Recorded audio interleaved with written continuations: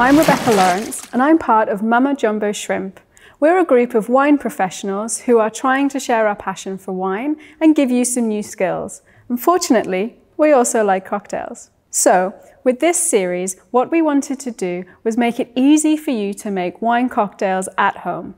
So we've chosen a series of cocktails that use some form of wine that you can make with four ingredients or less. Some will be classics, some will be twists on classics, and some might be completely new to you. Before we start, I wanted to say a little something about bar equipment, because there is lots of specialist equipment that you could buy.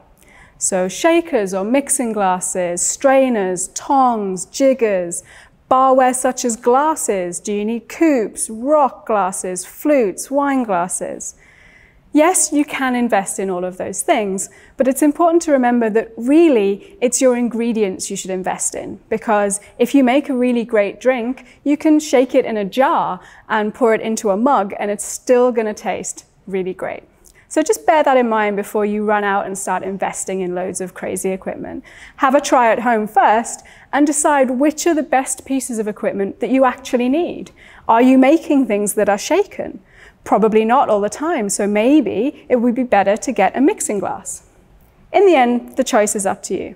But I will say, there's one piece of equipment that I've invested in and that I love and even travel with, and that's my jigger with all the different measurements in.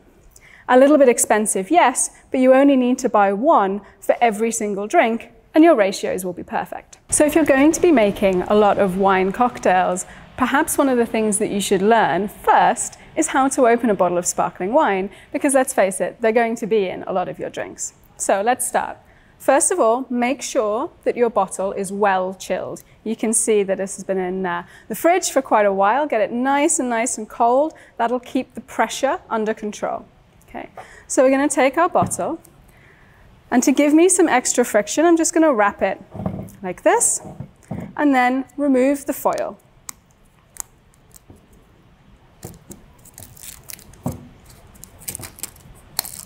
Okay, this we don't need.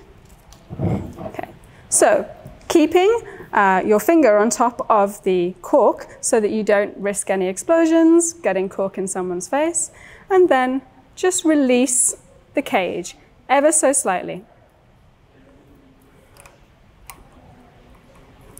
Some people like to remove the cage completely, and that's fine if that's how you're comfortable, but I like to leave the cage on so that I get a little bit more friction when I'm trying to release the cork. Okay, so then we're going to turn the bottle to 45, 30 degrees, and the key here is to twist the bottle, not the cork. Okay? The idea is to keep some pressure on the cork so that you just get a nice little pop rather than an explosion. So trying to ease the cork out nice and gently.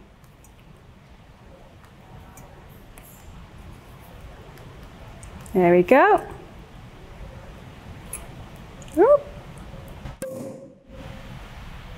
And we're done. Now you're ready to make a drink.